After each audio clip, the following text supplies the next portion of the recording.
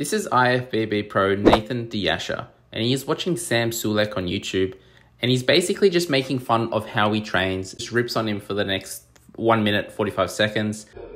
Second time I've seen this. But look, if you have single push down, he's made he's using, his quads. Now look, watch. What's he doing? And look, look.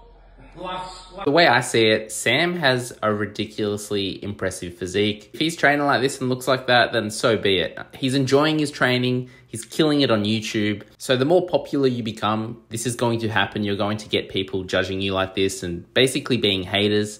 Uh, I mean, it's, I mean, whatever. It is what it is. All I can say is Sam's killing it. He's got a crazy physique. He's loving what he's doing. And if his form's not amazing, whatever. His physique speaks for itself.